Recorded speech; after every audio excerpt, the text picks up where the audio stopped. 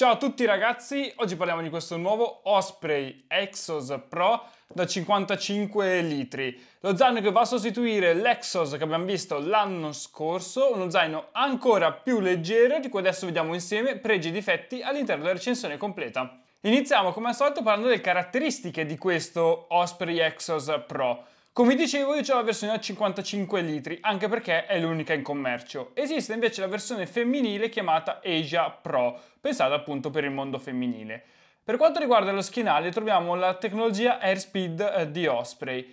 Il materiale è molto interessante perché è un nanofly molto leggero, molto resistente, che adesso poi andiamo a vedere e appunto quella leggerezza è la caratteristica numero uno di questo zaino. Pensate che nonostante abbia 55 litri come volume pesa solamente un chilo. Adesso però, dopo che abbiamo visto le caratteristiche, procediamo col vederne pregi difetti. Iniziamo come al solito a parlare dallo schienale. Come vi dicevo qui troviamo una tecnologia di Osprey chiamata Airspeed.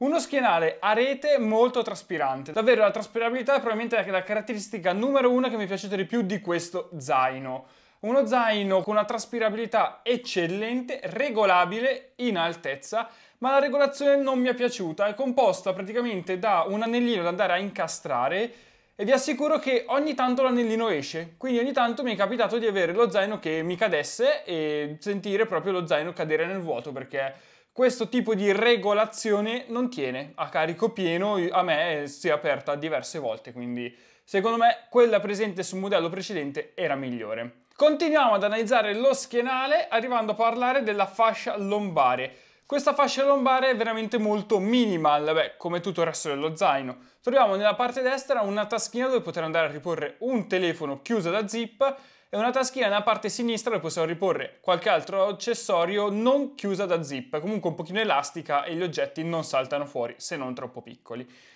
Come mi è piaciuta questa fascia lombare? Sì e no. Diciamo che fino a 10 kg come contenuto dello zaino lavora anche abbastanza bene. Il problema sta quando superiamo i 10 kg che lì inizia a lavorare male e tende a tagliare un pochino i fianchi.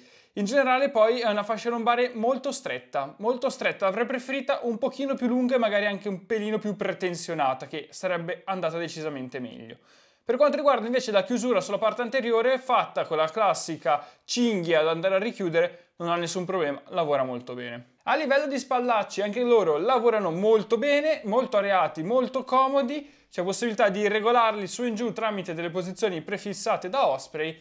Abbiamo il fischietto all'interno della chiusura pettorale e anche la chiusura pettorale appunto lavora bene. Continuiamo analizzando la parte anteriore di questo Osprey partendo da uno dei suoi lati. Vi preannuncio che i lati sono simmetrici, perciò eh, non c'è bisogno che li vediamo entrambi, ne vediamo solamente uno. Sulla parte laterale cosa troviamo? Troviamo una tasca dove andare a riporre la nostra borraccia. Una tasca abbastanza alta, la borraccia riusciamo a prenderla e toglierla in autonomia. L'unica cosa non mi è piaciuto tanto questo tipo di eh, mesh che ho utilizzato da Osprey Probabilmente volendo fare lo zaino molto leggero hanno scelto che un, un mesh molto leggero e questo tende a strapparsi molto velocemente. Eh, io l'ho utilizzato non così tanto e vi assicuro che ha già qualche strappo. In tutta la parte laterale poi troviamo diverse cinghie da andare a richiudere per andare a diminuire la grandezza dello zaino. Cinghie che comunque lavorano bene, molto semplici da utilizzare, in generale poi per quanto riguarda tutta la parte di chiusura delle cinghie mi sono trovato bene, davvero. Mi piace poi che lo zaino si possa richiudere se non utilizzato completamente da pieno. Arriviamo a parlare della parte posteriore di questo zaino, quella vera e propria. Cosa troviamo? Troviamo una tasca a soffietto dove possiamo andare a riporre un secondo strato, io ci avevo messo un kit medicinali ad esempio, eh, molto classica, anche lei fatta con la parte estensiva eh, del mesh della retina che vi dicevo prima, in generale comunque lavora molto bene. Non è richiudibile ma utilizzando le cinghie superiori si può andare ad appiccicare allo zaino, quindi eh, comunque questa lavora molto bene. Per quanto riguarda la possibilità di stivaggio dei bastoncini possiamo portarne o tutti e due da una parte oppure fare uno da una parte e uno dall'altra e volendo ci può stare anche una piccozza all'interno, quindi abbastanza polivalente. Per il resto nella parte posteriore non troviamo altro, pur essendo uno zaino da 55 litri non c'è una possibilità di andare ad aprirlo in qualche modo che non sia dal cappuccio superiore. Questo bene ma non benissimo, nel senso che comunque volendo fare uno zaino ultra light sono dovuti andare a risicare anche qua e mettere una qualsiasi cerniera per poter aprire lo zaino nella parte inferiore costava peso, quindi lo zaino a sacca unica. Qualsiasi cosa voi andrete a porre in fondo dovrete obbligatoriamente svuotare tutto lo zaino per andare a recuperarla. Arriviamo a parlare del cappuccio. Il cappuccio innanzitutto è rimovibile, così possiamo togliere ancora 75 grammi da questo zaino e nel caso dovessimo rimuoverlo c'è una copertura per poterlo chiudere. E per quanto riguarda il cappuccio ha semplicemente una tasca posta nella parte esterna abbastanza grossa, molto generosa, ci sono dentro davvero tanti oggetti e per il resto nient'altro, finisce qua, un cappuccio molto semplice però comunque bello funzionale. Continuando parlando di tutta la parte di chiusura, questa è veramente molto semplice, basta semplicemente tirare un cordino e lo zaino si chiude, allo stesso modo basterà eh, ritirare il cordino e questo si andrà ad aprire, quindi una chiusura molto semplice e molto classica. Per quanto riguarda il comparto acqua non è presente il rain cover, abbiamo la possibilità di portare due borracce nella parte esterna eh, sulle due tasche e poi all'interno si può mettere la sacca idrica con la possibilità di far uscire eh, la prolunga sulla parte anteriore. Arriviamo però a parlare di questo materiale, il Nanofly.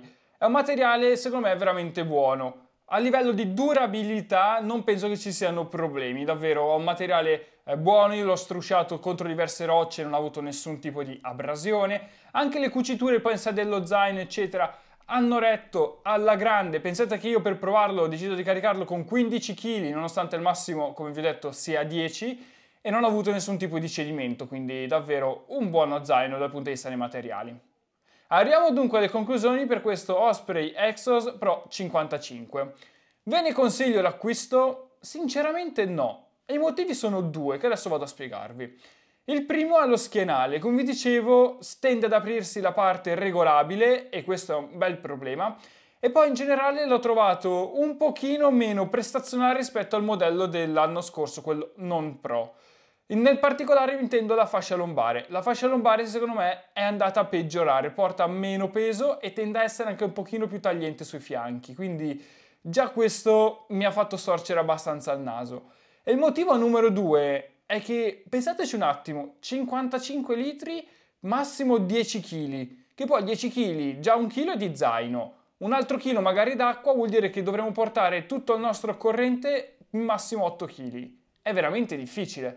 Quindi questo è uno zaino secondo me sproporzionato. Fosse stato fatto come modello da 45-48 litri come era l'anno scorso, ci poteva ancora stare ma così è decisamente troppo grande, cioè il litraggio è veramente troppo ampio rispetto a quello che può garantire la fascia lombare e lo schienale, quindi è troppo grande. Se volete uno zaino ultra light, magari aggiungete qualche grammo in più, ma resterei sull'Exos dell'anno scorso, anche perché costa meno. Questo zaino qua nuovo costa 250 euro, il modello precedente ne costava un po' meno, quindi sinceramente secondo me questo è uno di quegli zaini che sono andati a rivoluzionarlo, sono andati a cambiarlo, ma non in meglio.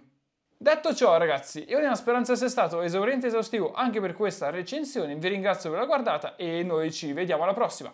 Ciao!